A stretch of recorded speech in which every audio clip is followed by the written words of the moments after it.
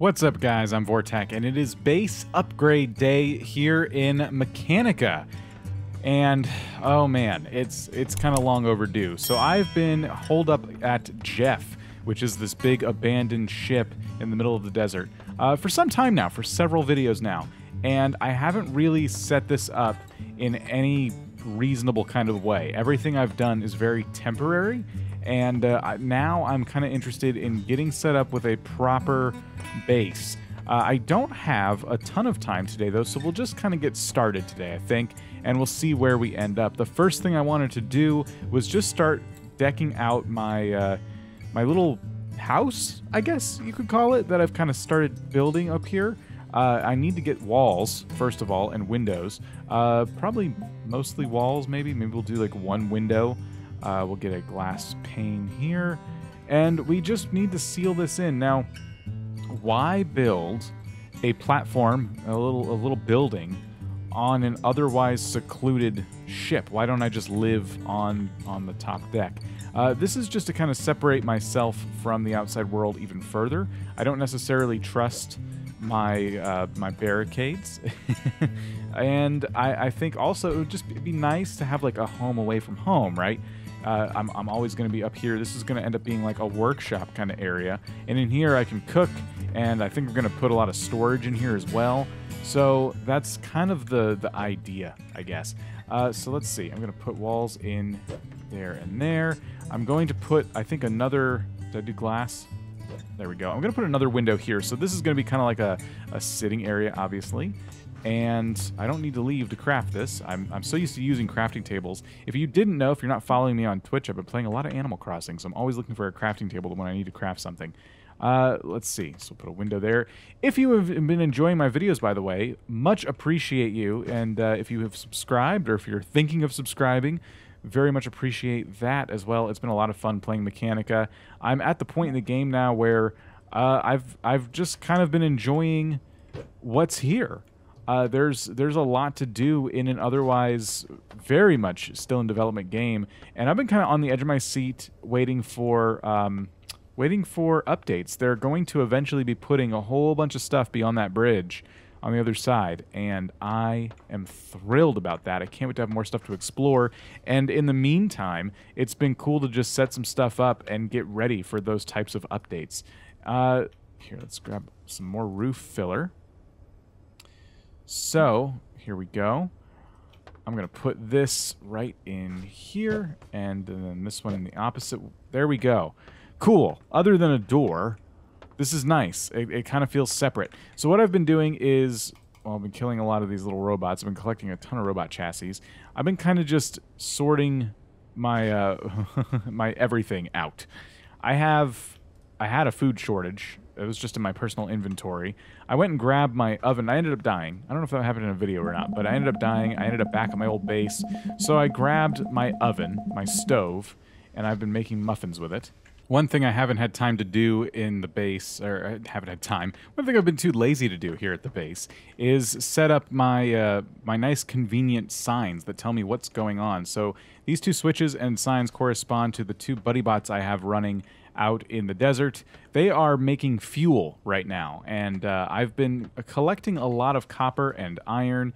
And every so often, I turn them off and I'll turn them back on when I'm starting to run low on fuel. I am running low on fuel, so I've turned them back on and realized, oh wow, I've never set any. Uh, I've never set any screens here. I, I put them there, but I never did anything with them. So basically the way I have it working right now is uh, if you haven't seen my tutorials on this before, now's your chance to kind of get reacquainted. And it works a little bit differently than the way I did it in the past. Uh, so essentially what we're doing in the BuddyBot is checking for has power.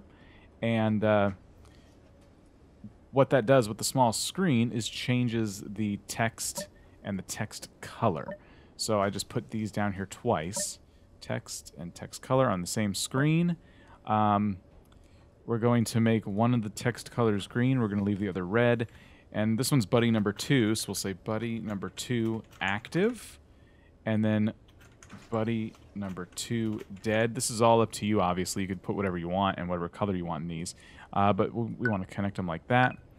And then the way this works is we right-click, we, we get a branch, And all we're doing is checking for the condition of has power. If this buddy bot has power, then one of two things will happen, or if it doesn't has power. If, if, if power changes ever.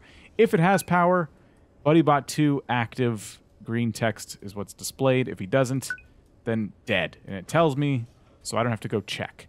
And then I set up a wait timer every five seconds. It, this, these will filter into here, and when it's done after five seconds, it's just going to keep running the command over and over again through that one branch. And all you do to start this is right-click, run, and there we go. And now we see that the screen is already green. I didn't have to turn the switch on or off. Uh, now, the only thing with that program is if I do turn a BuddyBot off, the screen stays as active. And if I was, you know, less lazy, I could probably work around that too, so it, it does a different set of text, maybe.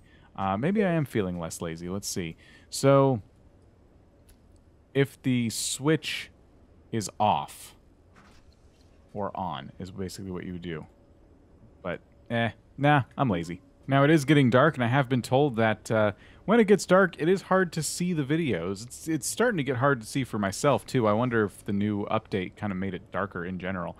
Uh, so I want to set up some lights around the base. Obviously, that's going to be something we should uh, we should have been doing a long time ago. So we're going to do that now. I'm going to grab some uh, some various lighting objects, and we're just going to hook them up to a very basic switch. But this is this is kind of like part of you know just putting furniture around, right? Uh, let's see here. So what I'm thinking of doing is putting lights just kind of around the base uh, inside the ship here because when it's dark, I would like to find myself some projects to keep myself busy, right? So I think what we can do is just put some lights there, and then these I think would look good kind of lining the floor. I, I did not make enough at all. Um, but maybe we can kind of put them, actually, yeah, that might look cool. So maybe we'll put one, it's, it's all off kilter here. Should I just keep them crooked? Does it matter? Probably not. We'll put one there. We'll put one there. And we'll put one there. Okay, nice evenly spaced.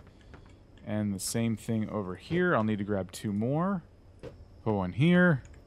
And then we'll put one here. Now this will light up the, the part of the base I'm going to be hanging out at the most. And instead of a switch, I think it'd be cool to set this up with a clock. So let's see if we can make a clock real quick. Sensors and inputs. Digital clock is going to require two batteries. I need to just craft a bunch of these things. Uh, sensors and inputs. And now I'm out of copper wire. So craft a bunch of that. there we go. The clock is really cool. If you haven't seen this already, uh, another tutorial, I, uh, I covered how this works. But again, I was not using the right click to run before. Before I was using a button to run all of my different things and stuff. We do need to put the clock somewhere, so I'm going to put it in here and just kind of put it backwards on a crate. It's not what I wanted. Um, how about like that? Okay. And we're just going to go around and hook this clock up to each light individually. And we'll program everything, I guess, in the clock. Why not? So what I've done here is I went in through every single light and grabbed the toggle light command. And then I went into the clock and grabbed the is night value. We're going to be checking if it's night. If true, toggle light. Oh, wait a minute. And then false toggle light? This is why I use on and offs. We're going to try this. I don't know if this is going to work, but toggle the light, I guess.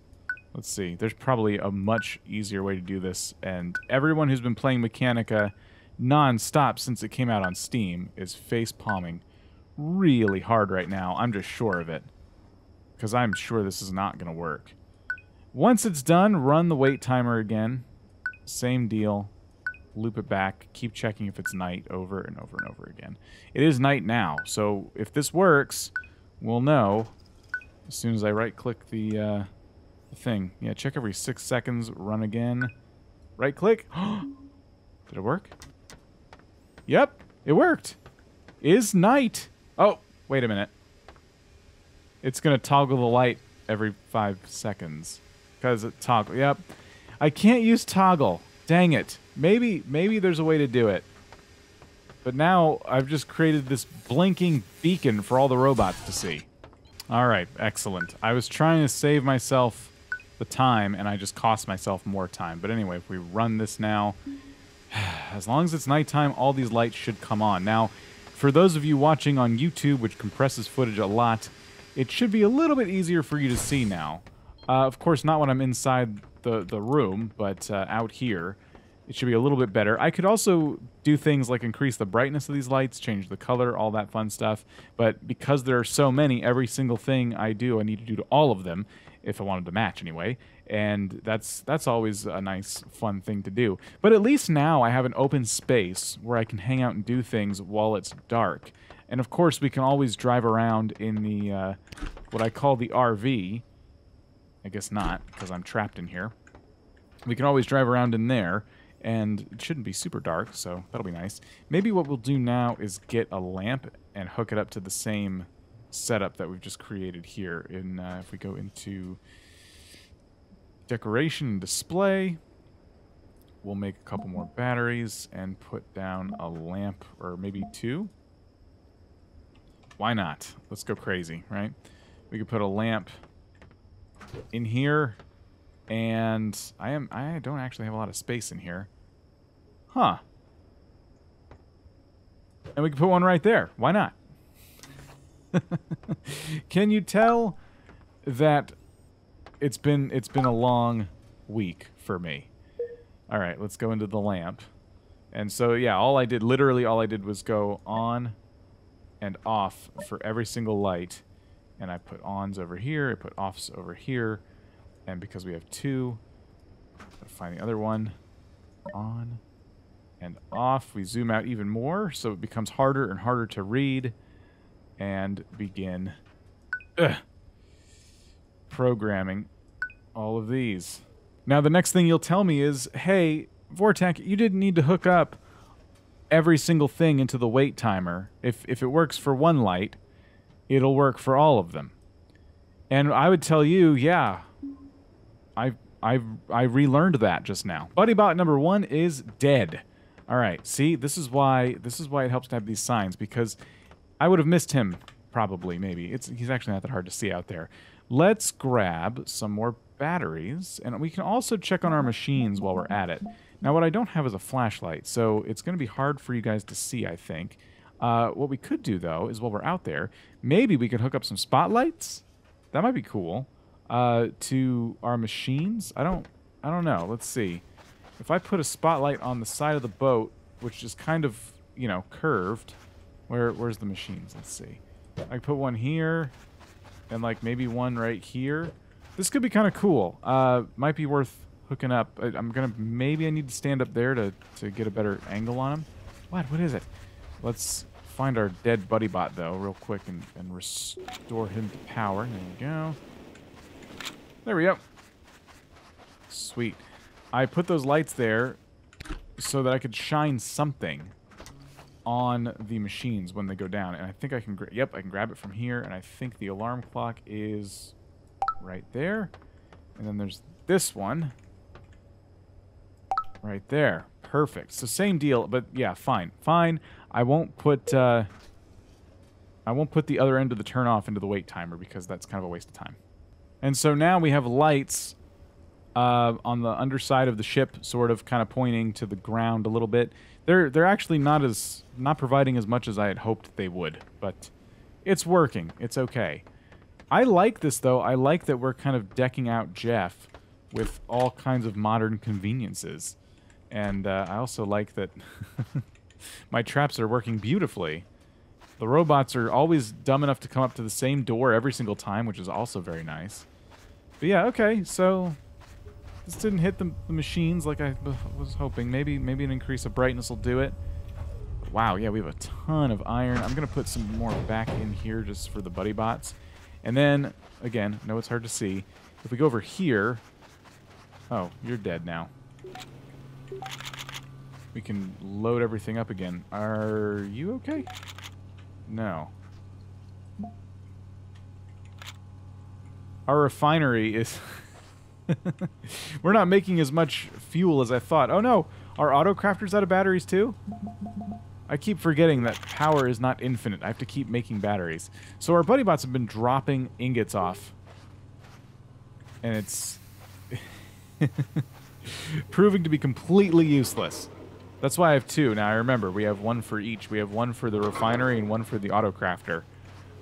Oh my gosh. All right. In a recent video, I went ahead and made what I'm calling an RV with this uh, speeder and I haven't really gotten a chance to test it out in the wild, so I decided to take a uh, a, little trip while it's dark here to uh, to the lighthouse.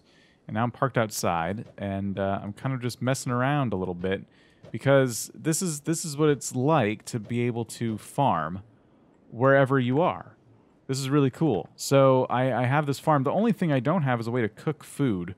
Of course, the the idea is you would only need to farm in kind of an emergency. Maybe what I do is I set up safe houses all over the place where I can stop, cook some food, all that fun stuff.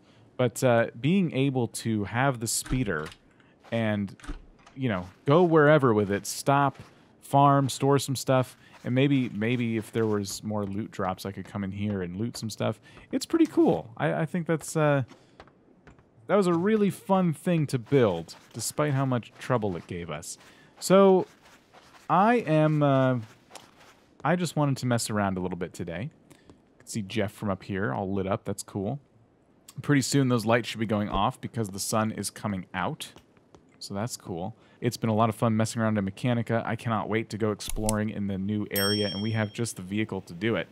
Um, and, and these little spy robots here are going to tell everybody about it. I don't need that. I don't need that. Get out of here, man. All right, guys. I'm out. I'll see you next time.